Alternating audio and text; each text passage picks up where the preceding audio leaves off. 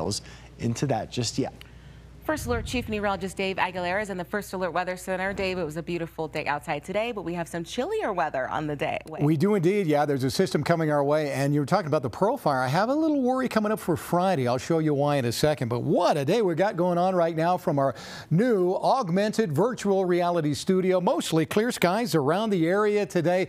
Behind that cold front we had yesterday, really just a beautiful day going on with hardly a cloud in the sky at all. And if we talk about temperatures around here, we're in great shape. Take a look. Fort Collins is at 78 right now. We've got a little breeze going in some locations, but it's nothing really crazy. 81 in Boulder and downtown Denver. Castle Rock has a, a 13 mile per hour wind right now, but they're only going about, oh, uh, 80 degrees at the moment, so not bad at all. We take you up into the foothills and the mountains. Evergreens at 68 in Estes Park, 67, and mostly 60s up there. You got 61 in Dillon, 68 in Vail, all the way up to 66 up in Steamboat Springs. And you look at the Lookout Mountain camera, a little wider view for you here. There is not a cloud in the sky over the area, so we're in great shape right now. High temperature today, just a few points above normal. Normal is about 81, 82 degrees. We are 85 for the high, and uh, in Denver today, 86 in Greeley and Fort Collins, Boulder at 82, and most of eastern Colorado in the comfortable 80s. And you can see it's warmer out to the east because the wind behind that front from yesterday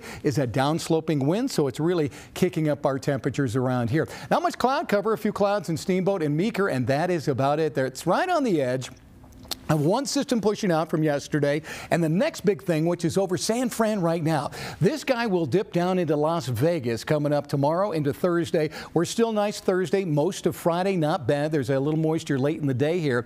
And then that system blasts through here coming up over the weekend. During the day on Saturday, we are ahead of it. It's Saturday night into Sunday. We get a really good upslope going, so we'll have showers and thunderstorms in the afternoon. Overnight Saturday, maybe some snow in the mountains and a really good chance of some some heavy rain uh, into Sunday morning around here. Some areas may even get a half inch to maybe even an inch of rain total out of some of those areas. So right across the mountains into the Denver metro area and the eastern plains, we are talking some pretty good rain amounts once we get to the weekend. Let's start with the short-term future cast statewide tonight, mostly clear. And we'll start the day tomorrow in the sunshine. It's at the end of the day we get a little cloud cover coming up over southern Colorado, but it's not thick enough to produce any rain showers or anything like that. So afternoon clouds is all we're looking at. Cold tonight in the mountains. Look at those numbers 34 in Vail, 36 in Aspen, 32 in Leadville. Those areas this weekend might be talking some snow down as low as 8,000 feet. More on that in a moment. But for tomorrow, 70s and 60s in the mountains, 80s out west and across the eastern plains as well. So the super seven day forecast mostly sunny and 84 tomorrow.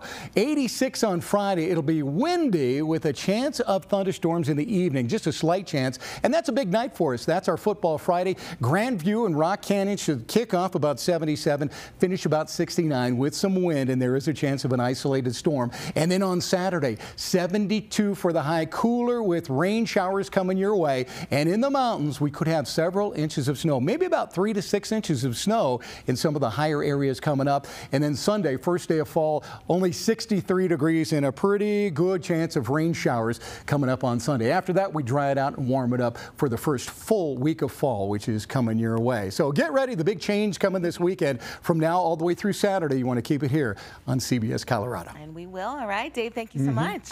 It is time to meet.